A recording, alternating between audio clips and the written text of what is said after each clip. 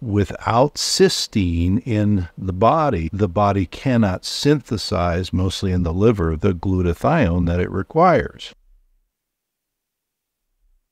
Welcome to my YouTube channel. I'm Dr. A. So let's get into today's topic, which is NAC, also known as N-acetylcysteine, which is a common supplement. It's a approved drug in the United States as well. NAC or N-acetylcysteine is an amino acid. It absorbs very well orally, and it is the rate limiting or main effector of our formation of glutathione. And so a lot of clinicians will, and a lot of lay people will use N-acetylcysteine to try and increase glutathione levels in the body, which is great. Glutathione is one of the three most basic and most important antioxidants, and those three keep each other recycled, meaning when they're in their reduced state, they're ready to be an antioxidant. When they're in their oxidized state, uh, they have to be reduced again. So vitamin vitamin C, glutathione, and vitamin E all do this together and keep each other as ready and active antioxidants. Now, when we get to N-acetylcysteine, people say, well, why is it more important? Because glutathione is three different amino acids. There's glycine, there's glutamine, and then there's cysteine. So why is cysteine or N-acetylcysteine, as it's used mostly orally and other ways,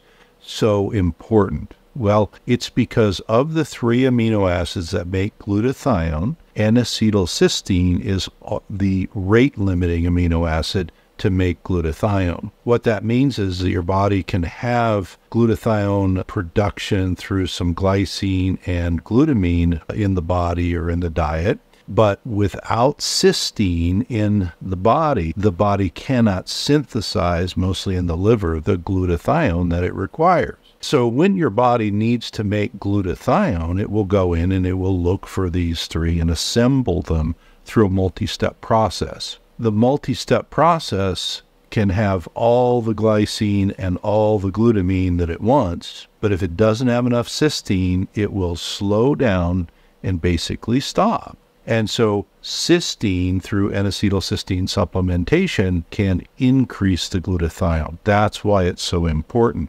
These three base antioxidants that protect all of our cells, glutathione, vitamin C, and vitamin E, work as a triplet. They work all together. Glutathione we make in the body, vitamin C we have to get from our diet because we don't make that as humans. And then vitamin E we generally have to get from the diet as well. And so when we're making glutathione, it's a little harder to make because the body has to go through these multiple steps. Then antioxidants are protective against free radical formation, damage to the blood vessels, damage to the brain, damage to kidneys, all, all sorts of things. That's why glutathione is so important and usually why N-acetylcysteine becomes very important, especially when we're trying to raise levels of glutathione. Now, people will often say, well, is there any research that shows, number one, it's the rate limiting step, and number two, that if you give somebody uh, cysteine, N-acetylcysteine, it'll actually raise their glutathione? Now, when you're looking at N-acetylcysteine, so some people say, well, are there pluses and minuses of just taking N-acetylcysteine versus glutathione? And there's a couple of layers we want to think about. Both of them can be what are called mucolytic substances, which is a little different than antioxidant. But in uh, hospital medicine, N-acetylcysteine, which used to be a drug called Mucomyst, could be used in a ventilator system, could even be intravenously given, but it could be taken orally, used in a ventilator, nebulizer. And when you breathe it in, it helps to break down the mucus bonds. And so mucolytic, it helps you to breathe better. Well, imagine if you're, uh, you know, having asthma or you're on a ventilator and, and your mucus secretions are very sticky. That's what NAC is very helpful with there. Well, it turns out glutathione is also helpful in that way, but NAC is the standard drug approach to that. The next thing is, is that what does absorb of the N-acetylcysteine will help you to make more glutathione, and then you have more of that triplet of antioxidant working. There's also the difference in N-acetylcysteine as a supplement is moderately or reasonably priced. Glutathione as a supplement, there's two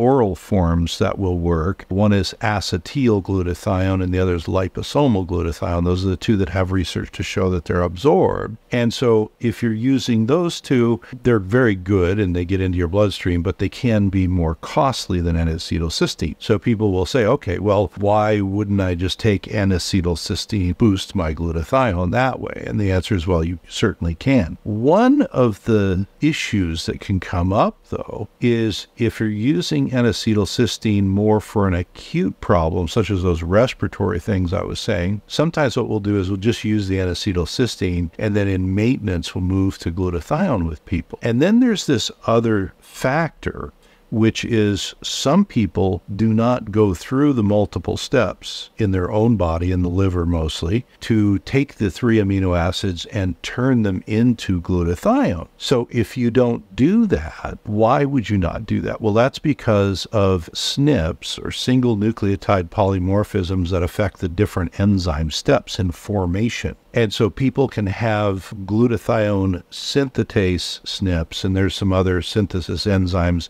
to get the three amino acids stuck together and turned into glutathione. So sometimes people will have a lot of NAC go in the body and a very little glutathione come out the other end because their body just is not very efficient because genetically they inherited that. You can check for these single nu- nucleotide polymorphisms through uh, nutrigenomic testing. And especially if you're somebody who's hypersensitive, maybe you have uh, mast cell activation syndromes or mast cell activation disorders, multiple chemical sensitivity, environmental toxins, things of that nature, it's probably probably good to look there. And the reason that becomes important is although the NAC is good for lots of things and it's less costly than glutathione. If I have enzyme defects in making glutathione, I may need to supplement glutathione proper and maybe use NAC just to back it up or for other purposes. So your genetics can get in the way of putting those three aminos together as glutathione, uh, your central antioxidant.